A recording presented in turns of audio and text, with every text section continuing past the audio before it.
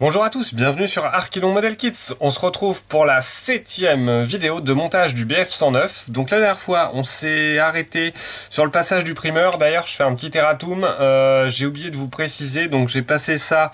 Alors le primeur d'Aka, c'est celui-là. Hein. Donc il se passe, il est prêt à l'emploi celui-là. Hein. Vous n'avez pas du tout besoin de le diluer, rien. C'est super liquide. Vous le glissez dans le godet de l'aérographe. Je vais pousser le modèle pour pas faire de bêtises. Vous le glissez dans le godet de l'aérographe et hop, direct, c'est prêt à l'emploi. Hein. Je vais essayer de vous montrer un peu à l'intérieur, mais... Non, ça va être dur. Mais enfin, voilà, voilà, si là, vous voyez, c'est super liquide. Donc ça se passe direct, ça c'est génial pour ça. Il hein. n'y a pas de dilution, rien. Vous le mettez dedans, vous le secouez bien. Moi, j'ai mis des billes et puis voilà, c'est parti. Donc, j'ai choisi donc ce primeur là et donc il a été passé avec euh, un aéro avec bus aiguille en 0,4 avec une pression d'un bar ou 15 PSI. Voilà pour le petit rattrapage. Maintenant, ce que je vais faire, c'est que je vais attaquer euh, sur la sur ce primeur là. En général, il faut lui passer un petit coup de sopalin un petit peu partout, euh, parce qu'il a un petit effet un peu granuleux. On le voit un petit peu là sur le côté. Je sais pas si vous allez trop le voir en vidéo. voilà. Après, l'idée, c'est simplement de passer comme ça avec un petit sopalin un peu partout pour enlever euh, toute cette partie un peu granuleuse. Et après, ouais, là, c'est tout lisse comme une peau de bébé, comme disait. Alors là, je reprends l'expression de cluster. Mais c'est vrai que, ouais, là, c'est super lisse. C'est vrai que là, c'est un peu granuleux et là, c'est tout lisse. Donc c'est pas mal. Donc simplement passer un petit coup, là, tout bête, hein, comme ça, un petit peu partout. Donc très sympa, on voit bien les lignes, ça les a même euh, renforcées. Je trouve qu'elles sont elles apparaissent mieux en fait. Au niveau de la gravure, bon, qui n'était pas parfaite, le résultat est pas trop mal. J'essaie de vous montrer. Hop. Franchement, c'est pas si mal. Avec le primeur, ça rattrape bien. Donc là, voilà, on vient passer un petit coup de sopalin partout. Gaffe aux détails. Donc je ferai la même euh, opération sur toutes les petites pièces qui sont prêtes. Alors je vais vous montrer ça, elles sont là. Hop. Donc il y a eu tout ça de préparé en même temps, euh, en primeur, toutes les parties des roues, les parties train d'atterrissage. D'ailleurs sur le train, je pense que je le mettrai dans cette vidéo là, mais j'ai fait l'acquisition euh, d'un wash de chez Aka qui est spécialement fait pour les trains d'atterrissage, donc on va voir ce que ça donne. Et puis euh, j'ai récupéré des pigments aussi un petit peu euh, typé du coup pour le, pour le désert, hein, donc euh, sable tout bêtement. Euh, là on a du North Africa Dust, la poussière. J'ai pris un petit peu de Light Rust, donc c'est du de la rouille. Et puis j'ai pris ça aussi, Enamel Wash pour un Ford DAC véhicule, donc DAC c'est Dodge Africa Corps, donc qui correspondrait à, à mon avion, donc à voir. J'avais pas de wash pour l'avion, je vais, je vais essayer de passer ça voir ce que ça donne. A priori, c'est fait pour, donc toutes les petites pièces, l'hélice, etc. Il y avait juste le cône d'hélice qui a reçu un coup de primeur blanc comme le personnage. Hein. Et puis voilà. Et puis le personnage, bah, il en est là ranger par toucher, il a son primeur blanc. Et puis j'ai fait l'acquisition, mais je vous la remontrerai, de cette petite boîte-là, qui est faite pour la peinture euh, des figurines, euh, pareil, Africa Corps, euh, pour leurs uniformes. Voilà, donc écoutez, je finis mon petit nettoyage, et puis on se retrouve tout de suite pour le pré-ombrage. Alors là, j'ai fini de passer un petit coup de sopalin, puis je remarque que là, il y a des petits, euh, petits surplus de primeur, en fait, ça fait des petites taches quand ça, il y a eu quelques éclaboussures.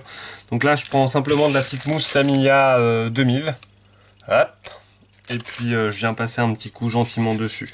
Juste, c'est au moins l'idée, c'est qu'il n'y ait plus de surépaisseur, quoi. Comme ça, en passant la peinture, on verra plus rien. Puis voilà, c'est redevenu tout net ici. Euh, on va regarder sur le reste s'il y en a d'autres, mais j'en ai pas vu d'autres. Hein. Là, elle est bien lisse, bien propre. Si, là, il y en a une. Voilà, pas hésiter à reprendre un peu encore ponçage derrière avant la peinture ultime. Puis après, on sera pas mal. Voilà, juste un petit coup, comme ça c'est propre. Je refais le tour rapidement. Non, vraiment, ce primeur est excellent. Là, il y en a un petit peu. Comme quoi, qu'est-ce qu'on peut poncer?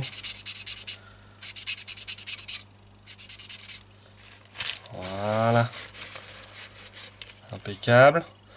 Puis bah voilà, ça me semble pas mal. Hein. Ça me semble pas mal. Tout est bien rattrapé, donc euh, nickel. Bon, ça c'est bon. Un petit résidu. Bah voilà. Allez, cette fois, on se retrouve réellement pour la partie pré-ombrage. Alors, on se retrouve pour la petite partie dilution euh, pour le pré-ombrage. Donc, Tamiya XF1, le Mister Color Leveling Thinner 400 et euh, donc j'ai acheté des petits pots tout vides de Mister Hobby là pour faire les mélanges. Euh, comme ça, je vais m'en préparer une petite dose que le pré-ombrage, je referai régulièrement. Comme ça, je vais me garder ça de côté.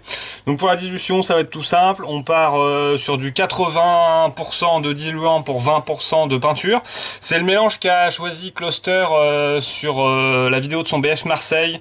Donc ce qu'il m'expliquait, c'est que plus on le dilue, en fait, moins on a, plus on a le droit à l'erreur en fait en le passant, parce que plus ça va être fin et plus on fait de passage. Donc pour des débutants, c'est un petit peu plus un peu plus sécurisant de le passer sur une dilution telle. Voilà, donc je prépare ça et on se retrouve tout de suite après. Ah oui, j'oubliais.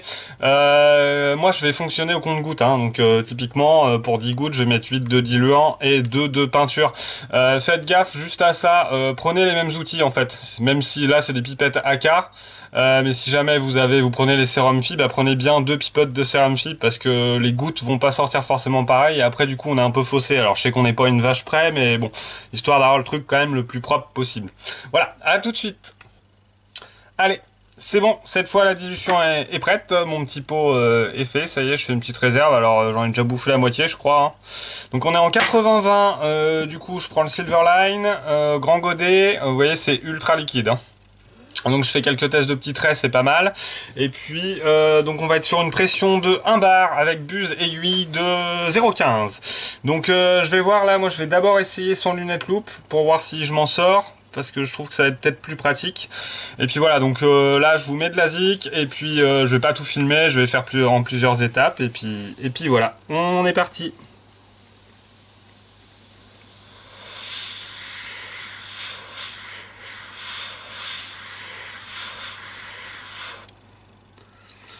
Alors, l'exercice est compliqué, hein, la vache. En fait, je sais pas où j'arrive.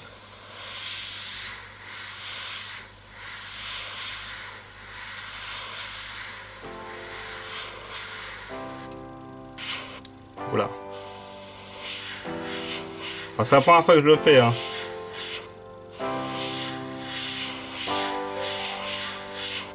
Vraiment que je trouve... Euh, prise en main. Ok, bon c'est pas mal. Allez, cette fois j'arrête de blablater en petit accéléré. Et puis euh, voilà bah, pour le début, hein, ce que ça donne. Et puis bah, je passe tous les traits maintenant. C'est parti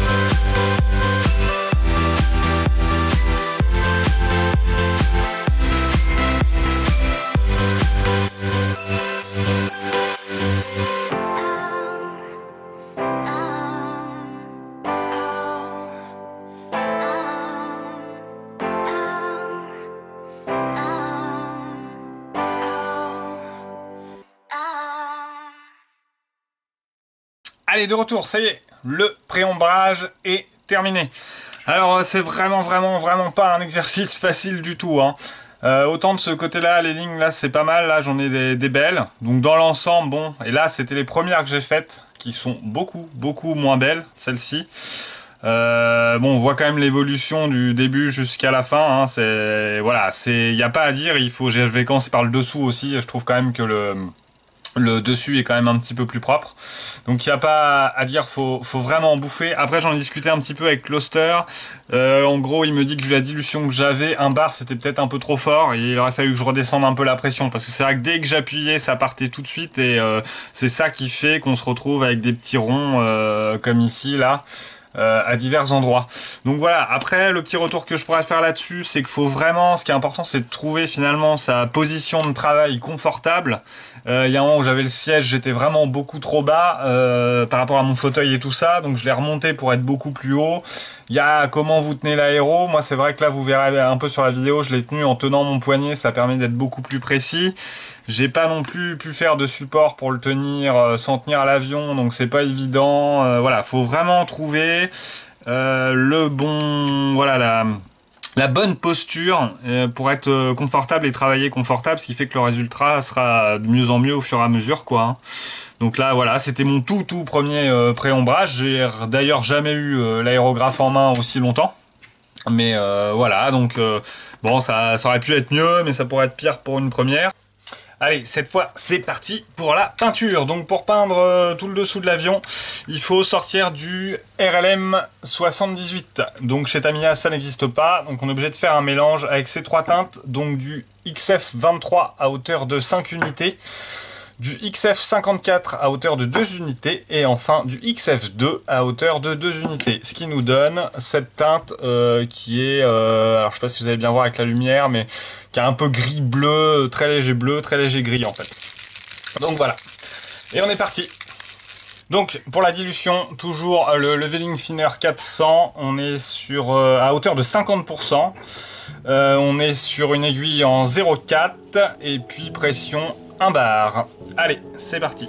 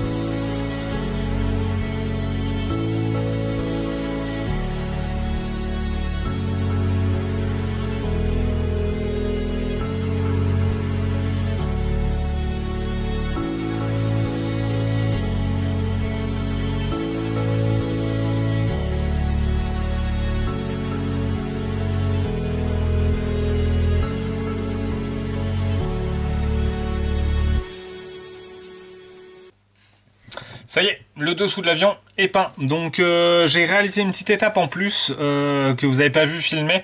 C'est l'éclairage euh, des panneaux. Alors là-dessus j'avais fait une connerie, ne faites pas comme moi. Donc j'ai eu la judicieuse et excellente idée de me dire bah je veux maintenant que je l'ai bien peint, je vais faire super propre. voilà, je, je voulais pas passer sur les lignes. Alors je vais prendre le collant des post-it là. je vais en couper en petits morceaux puis je vais faire tout le tour Hein, pour faire les carrés, puis comme ça je ferai ma peinture au milieu. Ah, excellente idée, hein, sauf qu'une fois que j'ai enlevé tous mes morceaux de post-it, j'avais des magnifiques petits carrés éclairés au milieu. Alors très propre, nickel. Alors niveau masquage c'était top, mais alors niveau réalisme c'était une catastrophe. Donc ne faites pas ça, hein, faut vraiment le faire à main levée au-dessus. Faut pas faire de masquage parce que forcément après, bah voilà, mes petites bandes elles étaient là, donc ça m'a fait des magnifiques petits carrés au milieu et c'est absolument pas réaliste. Donc pour corriger cette petite erreur, ce que j'ai fait, bah, c'est que j'ai repassé un coup de RLM euh, de la couleur. Hein. Euh, j'ai repassé tout un voile pour effacer mes carrés et j'ai repris euh, mon éclairage des panneaux tranquillement à l'aéro, euh, pression 1 bar 0,15. J'avais éclairci le gris de base hein, simplement avec euh, du blanc XF2 et puis voilà, je l'ai fait tranquillement à la main. Ça franchement, ça va tout seul. Faites pas de masquage là-dessus parce que le résultat derrière il est dégueulasse quoi. Voilà. Alors peut-être après pour de la SF ça pourrait passer des carrés comme ça, mais là sur un avion de la Seconde Guerre mondiale c'est même pas la peine d'essayer. Donc je vais vous faire un petit zoom là-dessus. sur l'aile là vous allez pouvoir un petit peu voilà l'éclairage donc voilà ça c'est sympa on voit encore peut-être un peu euh, l'effet un peu carré mais je trouve que du coup là ça rend vraiment pas mal il est sympa. Moi j'aime bien j'aime beaucoup donc j'y touche plus. De l'autre côté euh, j'ai pas avancé du tout hein. Euh, il me reste la partie marron à faire dessus. J'ai juste fait les, la partie là qui est sous les volets en verre intérieur. Donc que je masquerai avant de faire la peinture marron. Pour la peinture marron, mon petit pot il est prêt, hein, donc c'est pareil, c'est encore une fois, c'est un mélange avec du XF59, euh, du XF64, donc Red Brown, celui-là c'est Desert Yellow, et puis du XF2. Et grâce à ces trois teintes, on obtient cette couleur-là qui est le RLM 79. Donc on va faire ça sur la prochaine vidéo. Parallèlement à ça, j'ai commencé à travailler un petit peu sur les pièces annexes. Donc j'ai travaillé là sur la partie euh, euh, train d'atterrissage. Donc voilà, alors là, euh, c'est le même procédé exactement que le cockpit. Hein. Donc c'est du verre à l'intérieur partout qui est demandé sur la notice. Après, il demande du... C'est du X quoi X16, X11 J'ai un doute. Attendez, je vous dis ça. Euh, c'est celui-là, ouais. Du Chrome Silver X11. Donc moi, j'ai pris euh, de l'énamel parce que j'avais que cette référence-là. Donc j'ai, je suis venu passer... Euh, ici sur la petite barre. Comme sur le modèle, hein, j'ai pris les photos de référence, c'est là. Alors après, sur le modèle de référence, c'est un petit câble qui traîne là tout du long. C'est pour les freins. Euh, j'ai eu envie de le mettre, de faire du scratch, mais le problème c'est que j'ai pas de câble assez petit euh, pour du 1,48e. Euh, le câble, il, fait la moitié de la de la de l'essieu, enfin du de la barre. Hein, donc c'est débile, ça allait pas. Donc j'ai pas fait. Par contre après, bah donc même procédé avec le cockpit, j'ai fait donc coup de primeur, coup de peinture. Euh, après, euh, j'ai fait un coup de vernis brillant, j'ai passé euh, un jus dessus marron, et puis re-vernis mat, et ensuite pigment de chez Mig. Donc là, j'ai utilisé les deux, du sable, et puis du North Africa poussière d'Afrique du Nord, et le sand. D'accord, avec le fixeur. Puis ça donne ce petit résultat sympa, donc ça c'est cool c'est fait. Donc voilà, parallèlement, hein, dès que je suis un peu bloqué avec des temps de séchage ou autre, euh, j'avance sur les petites pièces annexes. Donc ça, hop, dans la boîte, des petites pièces terminées. Et puis j'avais peint également euh, la couleur hein, du dessous. Hein. Donc ça, c'est tout prêt. Il restera la partie à travailler la partie des roues que je vais faire. Et puis ces pièces-là seront complètes. Prochaine vidéo, donc euh, on va finir toute la peinture du dessus avec le RLM 79. Il y aura aussi la prise en charge du capot de toute la partie avant qui est jaune et l'anneau euh, qui est normalement à l'arrière, l'anneau blanc là, il est fait en décal mais moi je vais le faire en peinture donc on verra comment je traite ça là, j'ai pris mes renseignements auprès de Cluster, merci c'est top. Euh, qu'est-ce que j'avais d'autre? La semaine prochaine je pense que je vais attaquer euh, l'I16 avec mon fils, là c'est bon parce qu'il a encore une semaine de vacances donc on va démarrer les vidéos dans le vif du sujet. Puis dans cette vidéo, je sais pas si vous avez vu mais du coup j'ai rajouté une deuxième caméra ou, qui est sur le côté. Donc voilà, à vous de me dire si ça vaut le coup ou pas du tout. Euh, voilà, ça permet de changer un peu de plan, de point de vue. Je trouvais ça assez sympa. Donc vous me donnerez votre avis. Et puis bah voilà, on est actuellement à 280 abonnés, c'est franchement top, c'est mon petit plaisir tous les jours sur mon téléphone. Je reçois tranquille un petit mail, ah tac tac, on s'est abonné à la chaîne et tout, et c'est excellent quoi, ça arrête pas de progresser, c'est génial, ça me motive à mort pour continuer. j'ai pas mal d'autres idées, faire plein de projets, j'ai pas mal de boîtes en attente, donc c'est super cool. Je vous remercie infiniment parce que sans vous, bah du coup, je pense que voilà, je, je ferai pas. Donc voilà, c'est super motivant. Mon fils est super fan à l'idée de démarrer. Là, il m'en a parlé tout à l'heure. Ah, papa, c'est quand qu'on commence l'avion? Donc je suis content de débuter une nouvelle série avec lui. Et puis voilà, bah, je vous souhaite à tous une excellente soirée, fin de journée, la totale, ce que vous voulez. Et puis à bientôt. Portez-vous bien.